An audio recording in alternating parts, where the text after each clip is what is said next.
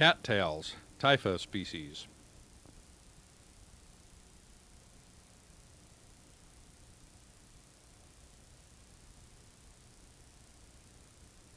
Cattails are among the most common of all aquatic plants. Two species are native to Florida. They can reach 8 or more feet tall and grow prolifically from thick underground rhizomes.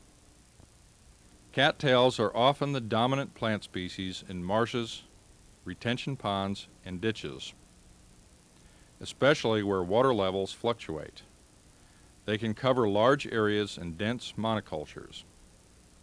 They flower in the spring and summer.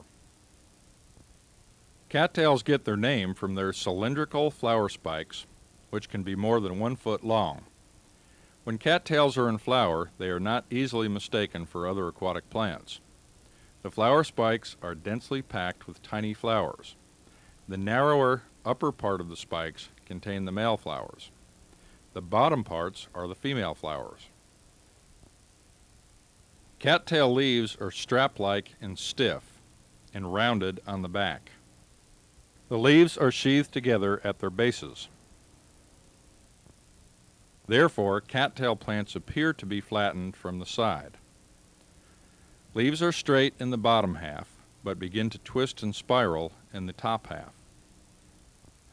Florida's two native cattail species can be distinguished by looking at the flower spike.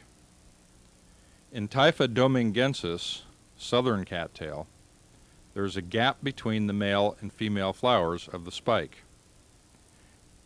In Typha latifolia, common cattail, the male and female flowers run together on the spike and cannot be easily distinguished.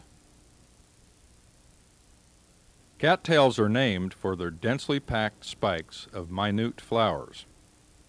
They can also be identified by their very tall strap-like leaves that are rounded on the back.